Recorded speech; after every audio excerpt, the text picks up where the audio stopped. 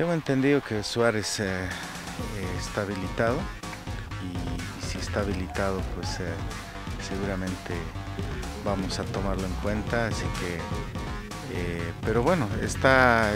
sujeto a algunas situaciones, pero obviamente estamos en presencia de un jugador de selección, un jugador joven que lo queremos, que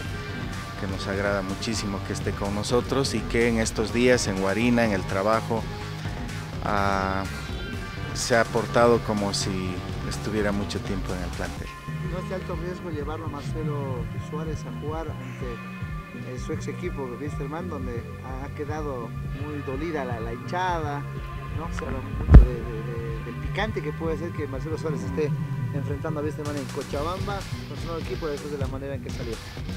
No, no, no creo, porque vuelvo a decir, esto es fútbol, es un deporte, es un juego, es un, hay pasiones y, se entiende y todo, pero este eh, y nos, eh, nos va a gustar que haya mucha presión,